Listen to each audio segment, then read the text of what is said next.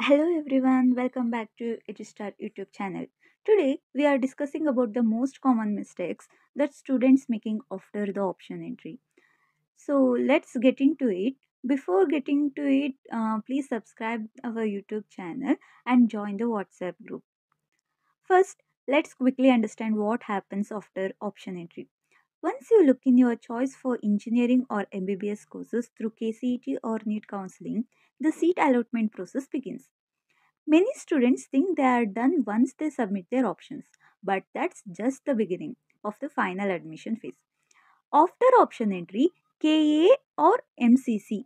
MCC means Medical Counseling Committee, which will release the mock allotments and final allotments. You will have to download the allotment letters, pay the fees, and report to the college. Some may need to attend the document verification again or re upload the certificates. Now, let's talk about the most common and dangerous mistake students make after the option entry. Mistake 1 Not checking the allotment dates daily. Many students assume that they will get a message or email, but KEA or uh, but KEA and MCC usually don't send the personal alerts. You must regularly check the official websites for mock allotments, round 1, 2, 3 seat allotments, and for the payment details uh, and the payment deadlines. Okay. Next, mistake 2 ignoring mock allotment feedback. Mock allotment help you to understand where you stand. If you didn't get a seat in the mock round, don't panic. Just reorder, uh, just reorder your preference based on your cutoffs. Then mistake 3 choosing only top colleges. Everyone wants Ramaiah, RV, BMS or Bangalore medical colleges. But remember, competition is tough. Add a balance of dream colleges, realistic colleges and safe backup options. Mistake number 4 forgetting to lock choices. If you don't click lock, your choices might not be saved. Double check that you are locked your finalist. Mistake number 5 missing document during reporting. After the allotment, you will need original documents like 10th and 12th marks card, KEA or NEET admit card, caste or income certificate, study certificate, allotment letter, option entry printout. Even one missing document can cause seat rejection. Now let's uh, now let's say you got a seat. Okay. Now let's say you got a seat, but what should do next? First, log into the portal and check your seat is allotted. Then, download the allotment paper.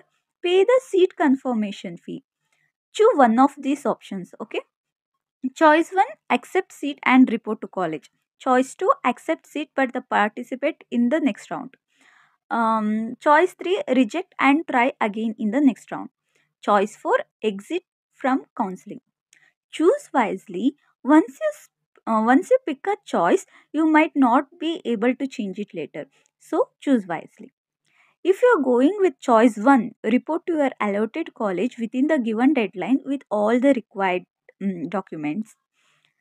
If you are done NEET option entry, uh, be extra careful because NEET has all India quota AIQ plus state quota. Make sure you are participating in the right round. Don't forget to resign from one seat before taking the another. Final checklist is check KEA or MCC, uh, not NCC, MCC, okay?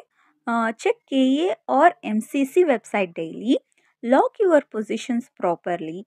Keep the documents ready in a folder. Don't ignore the allotment instructions.